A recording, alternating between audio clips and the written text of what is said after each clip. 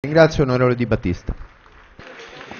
Presidente, utilizzando A titolo parole, personale. sì, parole consone, credo che sia anche un dovere di una forza politica, nel modo giusto, denunciare episodi corruttivi in quest'Aula e non recarsi solamente in procura. Sappia lei che tutto quello che noi denunciamo in quest'Aula è già diventata denuncia ufficiale in procura.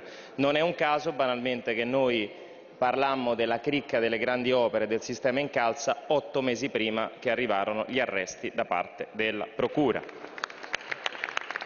Rispetto a, alla denuncia politica sul fatto che questa Repubblica sia diventata da una Repubblica fondata sul lavoro a una Repubblica fondata sulle banche, viene determinata questa denuncia dal numero di provvedimenti che questa maggioranza appunto, ha approvato negli ultimi tre anni, Presidente. Glieli voglio dire, sei provvedimenti o approvati o in procinto di essere approvati a sostegno delle banche e zero provvedimenti a sostegno dei cittadini, a cominciare dai pensionati minimi.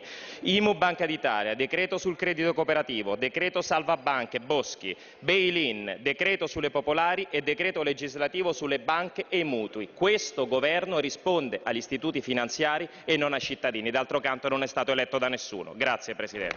La ringrazio onorevole Di Battista. Questo dimostra il suo intervento che si possono svolgere denunce politiche senza utilizzare termini sconvenienti e peraltro poi saranno le procure che danno seguito ai processi e non l'Assemblea. Onorevole Sibilia, prego, a titolo personale io avevo però prima, chiedo scusa, onorevole Sibilia, l'onorevole Vecchio.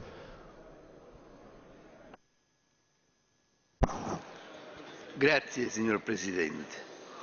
Io oh, quando ho avuto la notizia di questa legge eh, che dava alle banche la possibilità di vendere le, la casa dopo 18 mensilità non pagate, mi sono preoccupato perché pensavo che avessimo dato uno strapotere alle banche